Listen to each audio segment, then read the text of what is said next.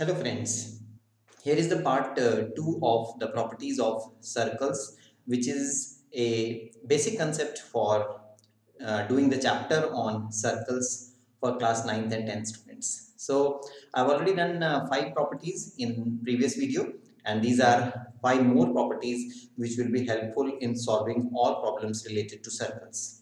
Let's see the first property. Now in the first property, I'm taking a circle and I will draw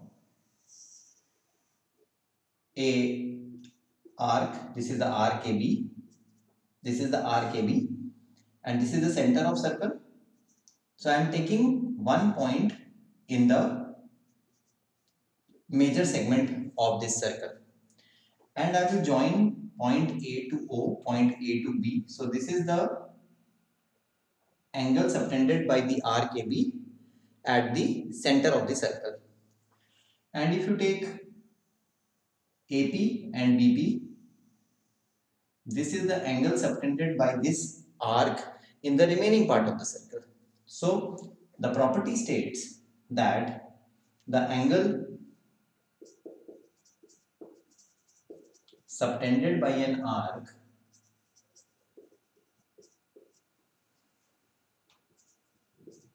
at the center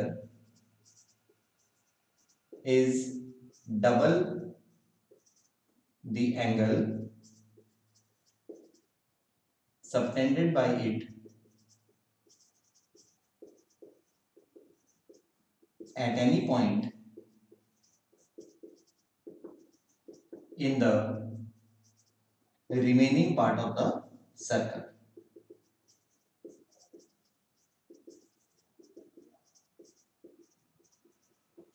So in this figure, this angle AOB which is subtended at the center will always be double of the angle APB which is subtended in the remaining part of the circle. So this is very important property for solving questions related to these circles.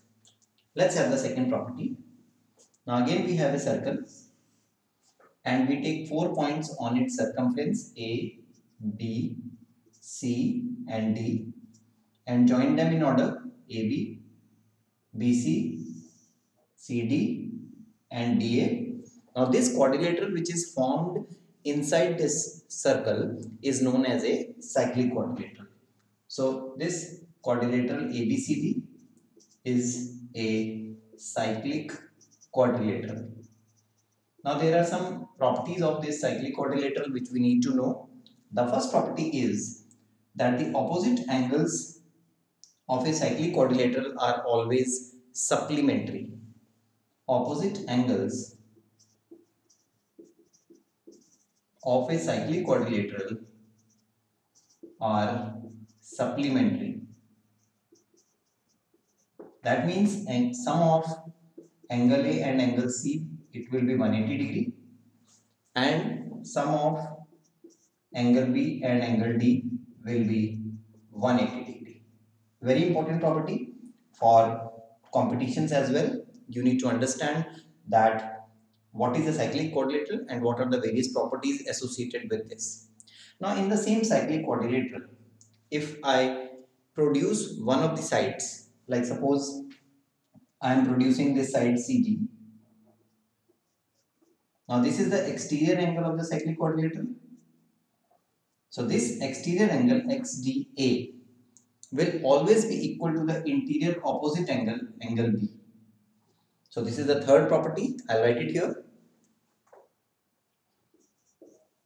The exterior angle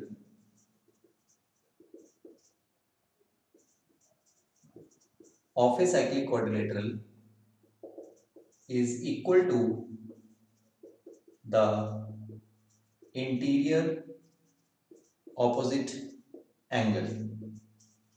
So if this angle is 120 degree, this angle is also 120 degree. So opposite angles, they are supplementary and exterior angle is always equal to the interior opposite angle. So uh, another very important property of circles.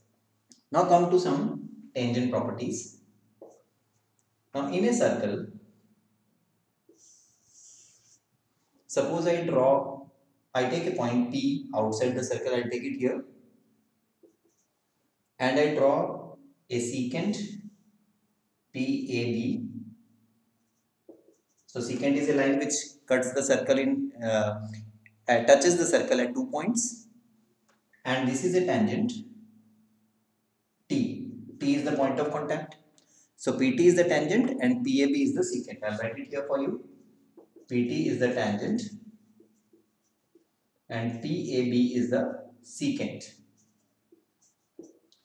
Now there is a very important property associated with one tangent and one secant.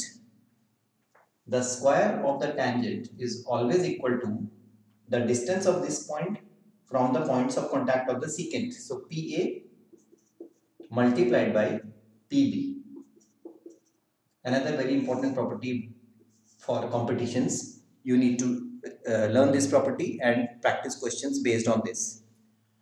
And finally, in the fifth property, we have a circle and then we have a point P outside the circle from where we are drawing two secants. So this is a tangent, I will draw two secants. So PAB is one of the secants and PCD is the other secant. So whenever we have two secants, then here we have PA into PB. Similar to this, we will have PA into PB here also. But in the RHS, we don't have a tangent here. So we need to repeat this property in the RHS. So PC into PD. So PA into PB will always be equal to PC into PD.